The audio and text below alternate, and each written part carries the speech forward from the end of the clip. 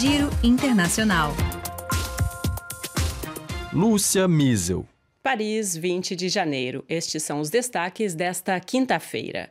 Os esforços diplomáticos se aceleram na Europa para evitar que a crise entre Rússia e Ucrânia se transforme em um novo conflito armado. O secretário de Estado americano Antony Blinken estará em Berlim nesta quinta-feira onde vai dialogar com Alemanha, França e Reino Unido sobre o assunto.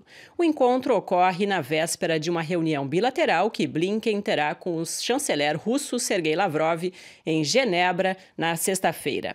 Nesta quarta-feira, Washington elevou o tom contra Moscou, prometendo uma resposta rápida, severa e unida dos Estados Unidos e seus aliados se as tropas russas, espalhadas pela fronteira com a Ucrânia, invadirem o território vizinho. Senadores dos Estados Unidos deram um golpe fatal na noite desta quarta-feira ao projeto de reforma eleitoral promovido pelo presidente Joe Biden para defender o direito de voto para as minorias no país. Diante de um bloqueio republicano, os democratas não conseguiram promover dois projetos de lei já aprovados pela Câmara dos Deputados. Eles então desistiram de ativar um procedimento especial para forçar avanços, apesar da rejeição da oposição. A desistência foi encarada como um fracasso suplementar de Biden.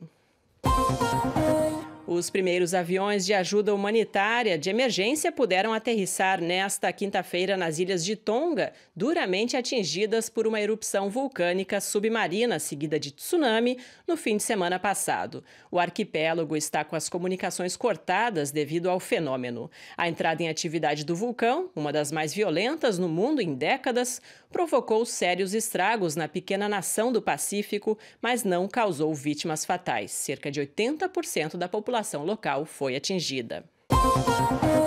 A Coreia do Norte mencionou nesta quinta-feira uma possível retomada de seus testes nucleares e de mísseis de longo alcance durante uma reunião do escritório político liderado por Kim Jong-un, informou a agência de notícias oficial norte-coreana.